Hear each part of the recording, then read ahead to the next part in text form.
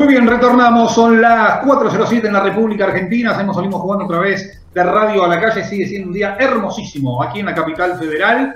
No sé cómo estará en Alemania, no sé cómo estará en la capital, en Berlín. Creo que son cinco horas más. Si no me equivoco, no sé si cambió el horario por el verano. Se lo vamos a preguntar a él. Querido Santi Casíbar, ruso querido, bienvenido. ¿Cómo va? ¿Cómo estás? Buenas noches para vos, casi. ¿Cómo va? Buenas tardes para todos. Sí, sí, son cinco horas de diferencia. Bueno, ¿y cómo, cómo te trata Berlín? Bien, la verdad que lindo eh, estar acá en esta en la capital de Alemania, ¿no? Que, tiene tanta historia y bueno, con ganas de conocerla.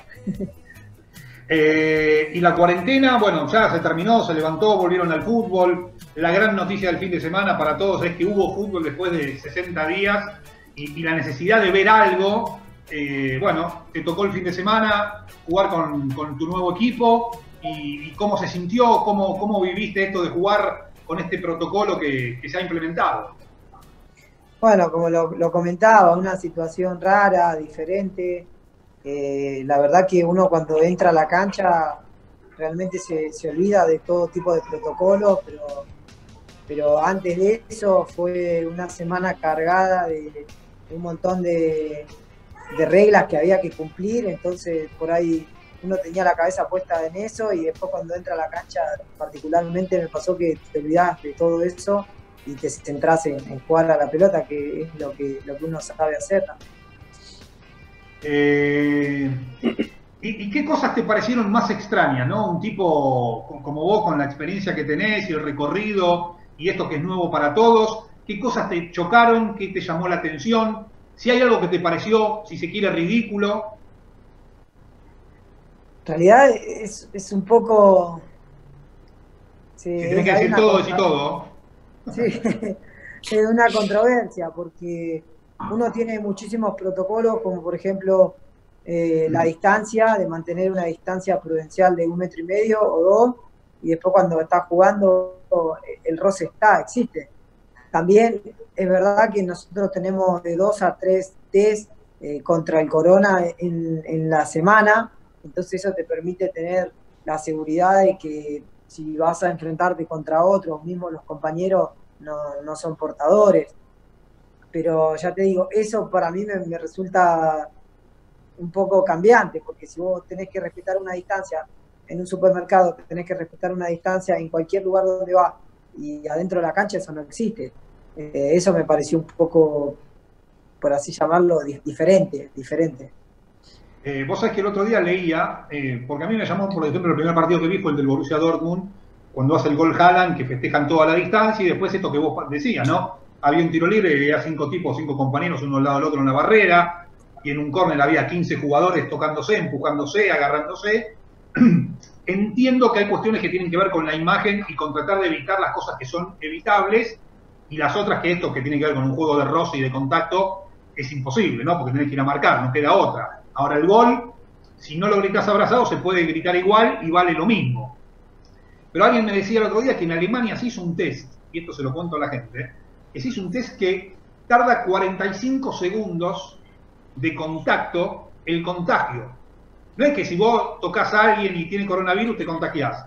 Es un proceso de 45 segundos. Bueno, esto es un test y un, estudio hecho en Alemania, que es el primer país que vuelve el fútbol o, de las ligas más importantes.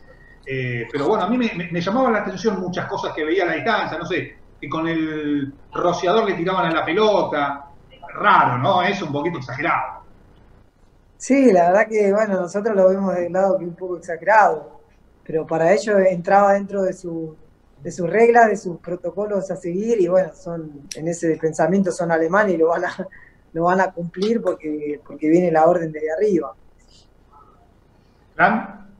Digo, ¿cómo te cae Santiago y cómo toman no tener el clásico, el derby, porque el viernes juegan ante Unión Berlín, digo, tan pronto? Eh, ¿Es un estímulo y un aliciente como para acelerar la puesta a punto o, lo toman con, también con cierto malestar porque toca nuevamente el que quizás no están tan preparados, no van a poder disfrutar del entorno y, todo lo que genera un derby en el público, en el marco.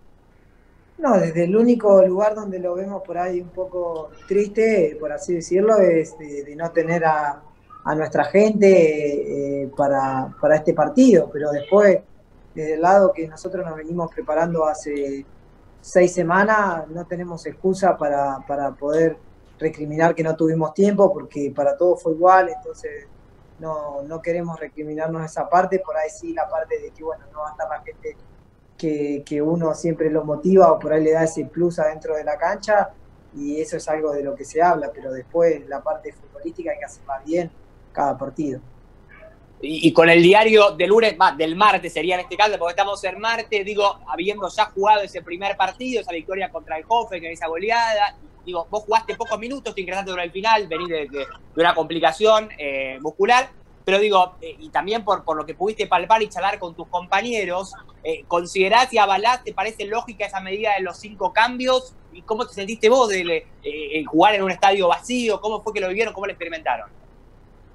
Bueno, la verdad que, lo de los cinco cambios lo veo bien, porque no, no se llegó a, por ahí a completar un ritmo de partido en el cual todos por ahí podemos, no sé, completar los 90 minutos o 95 minutos más lo que se adicione.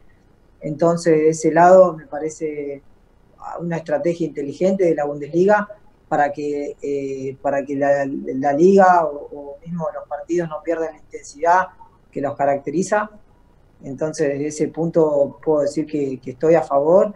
Y después, desde el lado que me toca me tocó entrar, esos minutos, jugar, la verdad que fue, fue un poco raro porque no, no tener el público que uno está acostumbrado acá en Alemania que los estadios estén siempre llenos, eh, me parecía un poco raro, pero bueno, eh, se, disfrutó la victoria y había que buscarle los lados positivos y, nosotros lo buscamos ahí más que nada, en la victoria.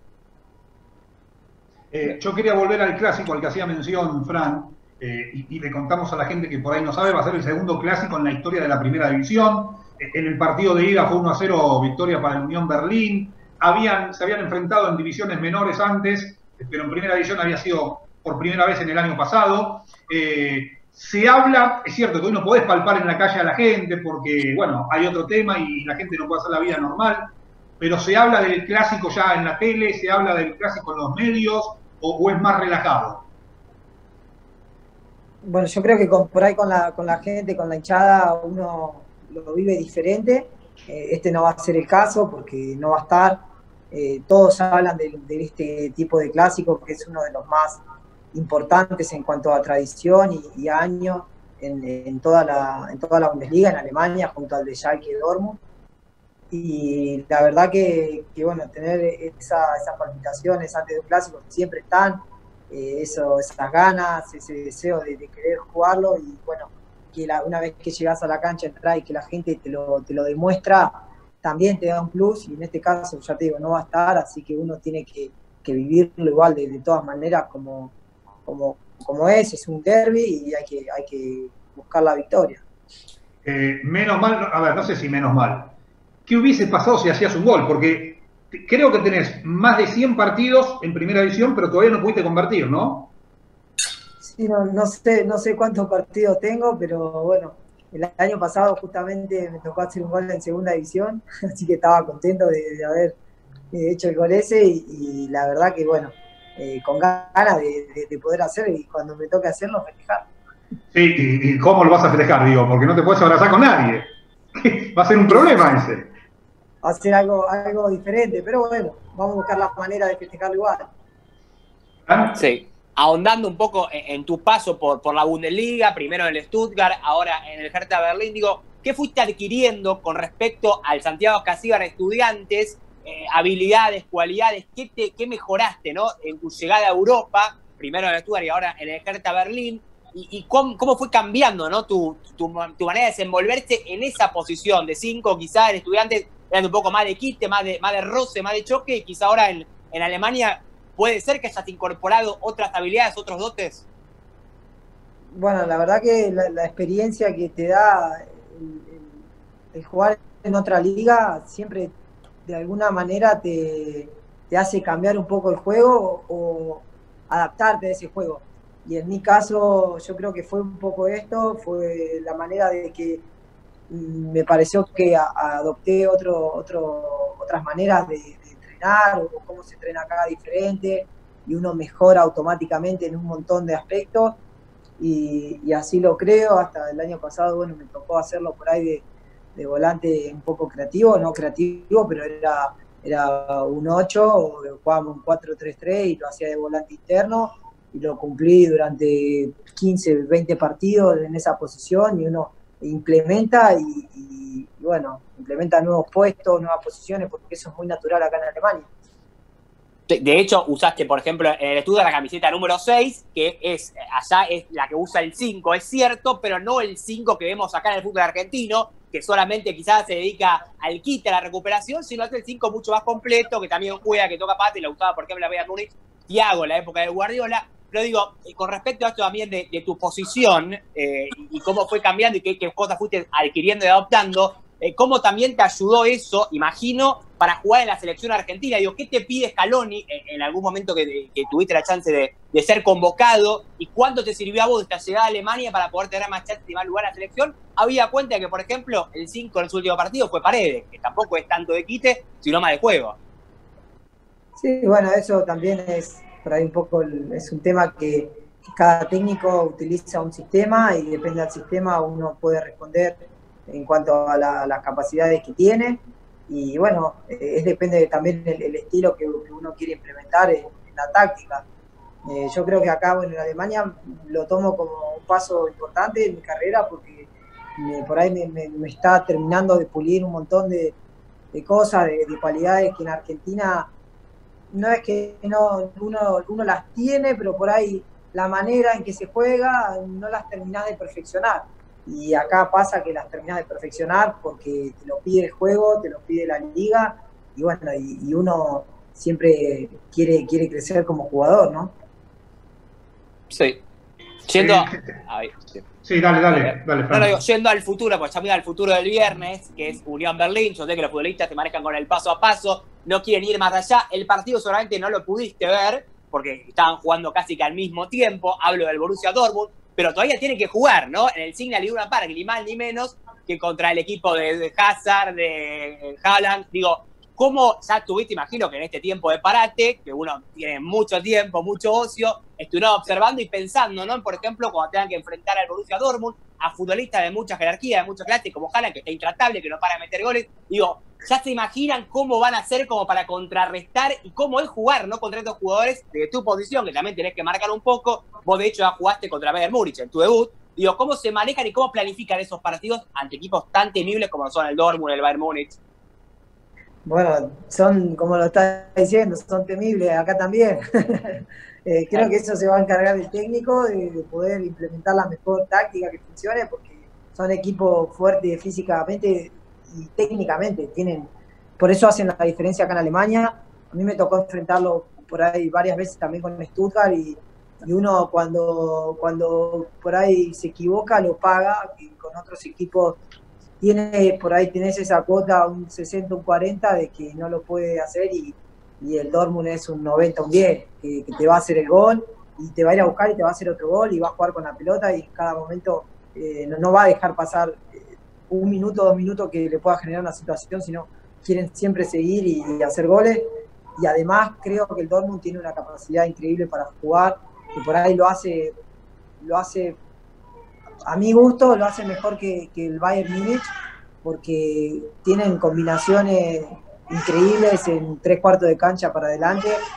Y bueno, nada, me gusta mucho particularmente el Dortmund, también el Bayern, pero el Dortmund me, genera esa, esa esa sensación cuando juego en contra de ese equipo, que sabes que en un momento, si aprieta el acelerador, puede venir y te puede hacer cuatro goles en diez minutos. Y por ahí eso no te pasa con el Bayern. Sabes que al Bayern vos le podés hacer partido en cada momento y, bueno, si encuentra un gol, es como que se abre el partido. Pero con el Dortmund no me pasa eso. Eh, yo bebés ya no tengo más en mi casa, que sepa Fran, no tuvo hijos. ¿Ese llanto de qué es que se escucha? de mi bebé. ¿Cómo se, porta? No, pero divino, me encanta. Bien, bien, se porta bien, ahora está, está ahí, que, que, se, que se duerme y que no se duerme. ¿Cuánto tiempo tiene, Santi? Tres meses y medio, chiquito. Oh. ¿Dormís de noche? Al principio no, no podía dormir, esto de la cuarentena y, y, el corona, en cierto modo, me, me cayó como anillo al dedo, pero ahora ya está durmiendo, ya está durmiendo más. Eh, hace cinco años atrás, seis años atrás, o, mucho antes que soñabas con ser jugador de primera y te esforzabas y te ibas a entrenar y toda la gente de estudiantes habla muy bien de vos y siempre tuviste los pies sobre la tierra. Eh, ¿Imaginabas que a los 23 años ibas a estar con un hijo en Berlín viviendo?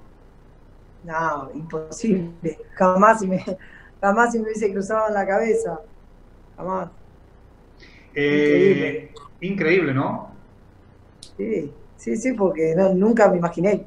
Uno se imagina, a, mí me pasa, me voy imaginando la vida paso a paso y, es verdad, si te vas seis años atrás, en ese momento jamás me hubiese imaginado en Alemania, menos con un hijo a los 23 años y me río.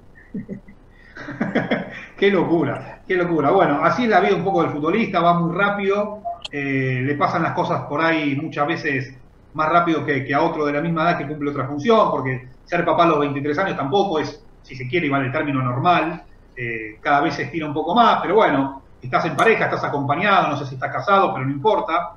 Eh, bueno, y es una compañía y es una decisión de vida y está, y está espectacular. Lo loco es que de La Plata pasando por, por otro lugar de Alemania y ahora en Berlín, ya con 23 años y un hijo que, debe costar dormirse y todas esas cuestiones, pero es una de las cosas más lindas que puede tener el ser humano un hijo.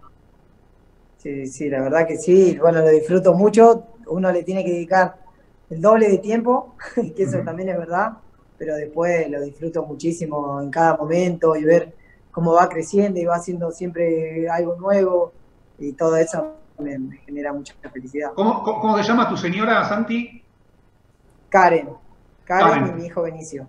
Benicio. ¿Y ya te pasó? ¿Ya, ¿Ya notaste que para Karen no sos más la prioridad de la casa? Sí. Sí, sí, ya lo noté. lo estoy notando. Eh, bueno, prepárate, cuando tenés tres ni te cuentes, si tenemos un perro, peor, olvídate. Cuarto, en cuarta posición. Sí, con suerte entras en el podio, pero en el mejor de los casos. Eh, te quiero preguntar por un nombre del fútbol alemán que es sensación, eh, que hace goles todos los partidos, que es un pibe, que es una bestia, que es Haaland. Eh, ¿qué, puedes decirnos de él, de lo que ves, de lo que se habla en Alemania de él? No, acá en Alemania está, rompiendo todos los récords, más o menos. Pero se habla, se habla que es una, es una promesa de lo, de lo más grande que, tuvo el, fútbol alemán. Y, bueno, eh, lo está demostrando en cuanto por ahí a, goles, lo está demostrando. Y a juego me tocó ver no muchos partidos últimamente, pero cuando lo veía siempre entraba, eh, estaba ahí en, el momento para, para, definir la jugada. Y bueno, son jugadores que, que son distintos al resto. Eh, y te quiero hacer una pregunta más antes de darle a Fran otra vez. Eh, vos que jugaste en el fútbol argentino, creo que 50 partidos más o menos, más o menos en estudiantes, todo en un año y medio, tuviste un, ascenso y, una aparición tremenda en el fútbol de acá, eh, y conocés mucho como somos los argentinos, vos crees, porque ahora ya se habla de que los futbolistas quieren volver a entrenar acá, ayer habló Lisandro López en conferencia de prensa, bueno, algunos futbolistas se manifiestan, otros no hablan, y se empieza a pensar cuándo se podría volver a la actividad. ¿Vos crees que nosotros los argentinos podríamos llevar adelante el protocolo alemán? Es una, pregunta difícil. Yo creo que es fácil. ¿eh? Nada, la verdad que son muchos protocolos que hay que seguir y bueno, hay que, tienen que, proponérselo y, yo creo que si todos se lo proponen y lo cumplen, se puede lograr. Pero bueno, eh, son, son muchas cosas, muchas cosas que, hay que tener en cuenta y hay que hacer y bueno, por ahí nuestra cultura siempre nos tira para, para, para esquivar esas cosas, pero bueno, uno tiene que, aceptar esto que, les va a tocar a los jugadores y que lo van a tener que hacer para poder volver a jugar, que es lo que uno quiere. Entonces, si lo ves de ese lado, eh, tenés, que, tenés que acceder a, a todo este tipo de cosas. Bien, hablando de futbolistas distintos, justo nos referíamos a Haaland, yo voy a hablar de otro distinto y bien distinto, de, un crack también, y digo, generacionalmente uno te imagina, intuye que lo tenés como ídolo, que idolatraste, era muy chico seguramente en el 2009, pero por, lo que pasó y ya vas a entender a, qué me refiero, pero digo, ¿cuánto anhelás y cuánto soñás jugar con Messi en la selección argentina? Porque tuviste quizá la mala suerte que en la convocatoria de Scaloni no, no, no estaba Messi, estaba vos solo, digo, te lo planteaste, te lo pusiste a pensar como un objetivo poder compartir equipo con Messi y ya también te sumo a, esta pregunta, a esta consulta, digo, ¿te crees capacitado y preparado para jugar con Messi? Porque ya son varios los futbolistas que hablan de las dificultades, que es estar a la altura de Messi, de hecho, Acero Campo, eh, Ocampo, Lucas Ocampo dijo que le costaba seguirlo a Messi, porque va muy rápido, está siempre muy adelantado, digo, ¿vos te ves, te preparado para jugar con él?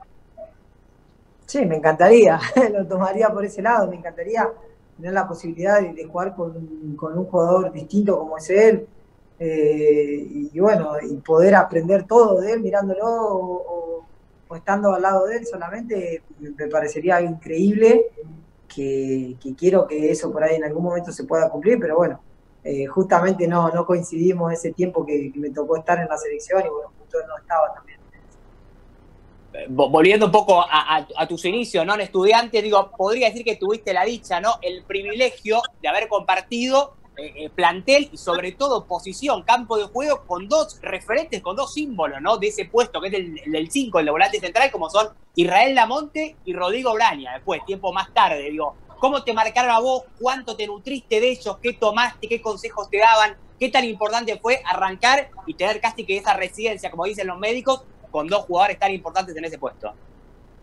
Bueno, primero ese primer año me tocó estar con Isra y la verdad que con Isra no me, saco el sombrero, estoy sin palabras con todo lo que uno pudo aprender de él como persona y como jugador, eh, principalmente, que, a mí particularmente me, enseñó mucho porque justo me agarró también en una, en una edad que recién subía y todo lo que quería era absorber y aprender y aprender de, de todos, escuchar. Entonces fue como uno de, las personas, fue uno de los compañeros que, más seguí en ese tiempo y bueno, después la llegada de Chapu también, obviamente con todo lo que generó y lo que logró con estudiantes, obviamente que uno tenía en cuenta sus consejos y, también eh, quería un poco eh, seguir sus pasos. No, no, sé si las vacaciones o el tiempo te lo permitió, pero ¿pudiste conocer el estadio nuevo? No, todavía no pude ir, no, no, todavía ah. no pude ir, tengo muchísimas ganas, pero bueno, justamente en diciembre eh, no, pude, no pude viajar porque mi mujer estuvo, eh, estaba embarazada en ese momento, entonces no, pude, viajar todavía. Eh, y de la sociedad alemana, del alemán prototipo, ¿qué, ¿qué, puedes decirnos? ¿Qué te llama la atención? ¿Qué, ¿Qué te choca? ¿Qué te parece extraño? ¿Qué admirás? Bueno, como admirar, la verdad que que la fuerza que tiene, la fuerza mental que tiene, que se propone las cosas y hasta que no, la, no las cumple no para. Eso es algo que, es increíble verlo y, se lo destaco siempre. Y después otra de las cosas que tienen, bueno, uno dice que son fríos, que, que por ahí no, no sienten como, como nosotros, pero cuando realmente los vas conociendo, son por ahí un poco más eh, respetuosos en ese sentido, no son tan confianzudos como nosotros. Y, después, lo que, lo, que, lo que sí tienen, que, también no hay que confundir, son muy amables. Son personas muy amables, no es que son eh, personas que, por más que uno diga que fría, no son amables porque estaría mintiendo, por lo menos lo que me tocó a mí vivir. Siempre la gente amable, eh, en cada momento, si haces una pregunta o necesitas algo, te, te van a ofrecer ayuda enseguida y bueno, eso me, da lo que, lo que pude conocer en este tiempo acá en Alemania. Hablamos de Haaland, Hernán preguntó por Haaland, el futbolista del Borussia Dortmund, que son distintos, y digo, está hablamos de jugadores distintos, con mucho potencial, con mucha proyección, hablando también de vos, por cierto, porque no te vamos a poner ese mote, quizá no con, los goles que te Haaland, pero también tener lo tuyo, es cierto, tener tus habilidades, pero me quería referir a otro delantero con el cual vos compartiste equipo en la selección argentina, al cual conocerá bien, no sé qué relación tendrá, pero digo, contaros un poco de Lautaro Martínez. ¿Lo ves preparado para ir al Barcelona, para jugar al lado de Messi? ¿Qué, sensación te deja vos como espectador y también como compañero de él? Yo te, hablo desde la parte de compañero, me tocó estar con él y, compartir muchos momentos. La verdad que es un jugador increíble y, él lo demuestra a base de, juego y de goles, como lo, hizo en, todo este tiempo que le tocó estar en Argentina y en Europa y lo va a seguir, para mí lo va a seguir haciendo porque es un jugador con mucho talento y, siempre lo, muestra en el campo y, siempre quiere más. Y eso es algo, una virtud que pocos la tienen y, más en un delantero y a él se le destaca muchísimo. La verdad que bueno, todo el tiempo que me, tocó estar, estar junto a él o, estando en el mismo equipo, te puedo decir que, siempre aprende de, de sus movimientos, de su forma de jugar, porque lo hace de muy buena manera y es un jugador increíble.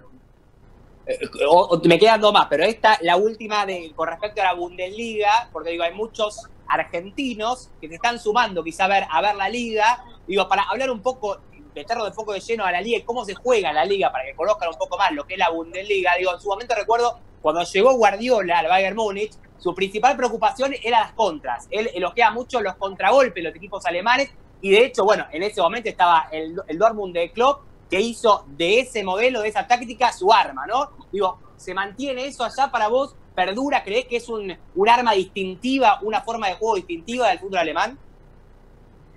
Sí, sí, te puedo decir que sí. Eh, la verdad que es una de las cosas que, uno cuando llegó se tuvo que adaptar rápido porque las transiciones son constantemente y hasta el minuto 90 no sabes cómo va a terminar un partido de Bundesliga o hasta que, hasta que no pita el árbitro, porque eh, por ahí el partido va 2 a 0, van 82 minutos y de repente el otro equipo lo dio vuelta 3 a 2 faltando 10 minutos sobre el final.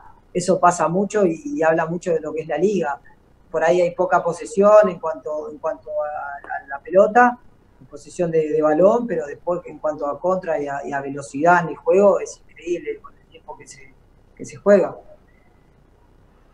Bien, la última de mi parte, digo, se la hicimos en la charla anterior hace minutos a Santiago Cáceres, un, colega tuyo y un par tuyo en cuanto a, la posición, y te la hago vos porque también me interesa, te ayudo la respuesta de Lord, te la voy a decir, pero digo, ¿a qué volante central admirás? ¿Cuál es tu modelo a seguir? ¿En quién te ves reflejado? ¿Y a quién te gustaría parecerte? Él lo respondió, por ejemplo, Busquets, dijo que es su ídolo al jugador que más admira. Digo, a vos en tu caso, ¿con quién te pasa eso? ¿A quién imitás? Bueno, yo tengo varios que, me gustan cómo lo hacen y cómo juegan en la posición que ocupo, eh, pero uno que, admiré, es que siempre fueron cambiando, pero tuve a, Vidal, Arturo Vidal, que es un modelo a, seguir y, que me encanta y lo admiro, al igual que a Tiago y a, y Berratti. Son estilos de, juego que tienen que me, encantan y, y son modelos que uno, que a mí particularmente me gustaría llegar en algún momento a ese, a ese estilo de juego, al igual que Canté, igual que Lucas Torreira, hay varios jugadores en esa posición que siempre los miro y quiero aprender constantemente de ellos, que, lo pueden hacer en, diferentes niveles y en diferentes ligas, y me parece en su juego un poco similar y lo pueden demostrar en cada partido. La, cortita, la última me surgió recién, digo, las seis en la espalda en Stuttgart, ¿tiene que ver con Thiago Bayern Múnich o fue al azar? Fue algo casual, porque justo lo nombraste y me, surgió. No, tenía, tenía, ¿era las seis o las diez? No, dije, dame oh. las seis. dame las seis. Claro, más humilde. Eh, ¿Tenés pensado retomar algún día antropología o no? No, no, no, eso, eso quedó, quedó, en el pasado. Ya está. Ya está. ¿Y, ¿Y estás estudiando alemán? Sí, estudié los primeros dos años que estuve acá, estuve con una profesora y un profesor estudiando y bueno, ahora nada, sigo repaso, sigo estudiando un poco todavía para terminar por ahí de, darle el toque que me queda si lo puedo hablar perfecto. Pero es, un, es una lengua difícil. Sí, claro. ¿Y, las charlas, ¿cómo, cómo te arreglas con eso? ¿O cómo te arreglabas al principio? Hoy por ahí ya las entendés, no sé. Al principio, cuando llegué a Stuttgart, tenía un traductor y después a los 6, 7 meses ya ahí entendía, entendía lo que era de fútbol, para otras cosas no. Y bueno, después pasó el tiempo y ahora sí entiendo todo. Y más lo que es de fútbol, una charla de fútbol la entiendo toda. Y, bueno, no, hay problema. Y para la comunicación igual, es, por, por en alemán, eh, entonces, si el alemán lo entendés un poco, vos podrías mandarnos te vamos a saludar, te vamos a despedir, decir, nos vamos a una pausa y ya venimos con salimos jugando o es un lío? Uf, a ver. lo mató. Difícil, difícil. Pará, muy difícil. Bueno, o quédate, o quedate escuchando salimos jugando para que sea más corto. Quédate, punto. Algo más simple, pobre. ah, bueno, pues si tenemos un profesor en alemán, aprovechémoslo. Te pongo, pongo, que eh, nos quedamos que, quedémonos acá en el canal, mirando. Dale, ahí está. Eh, Playa en, en canal eh, Muy bien, impecable. Igual si dijo voy a ir al supermercado, se lo creo también, ¿eh? No, no, quédense en el canal mirando. Muy bien, espectacular.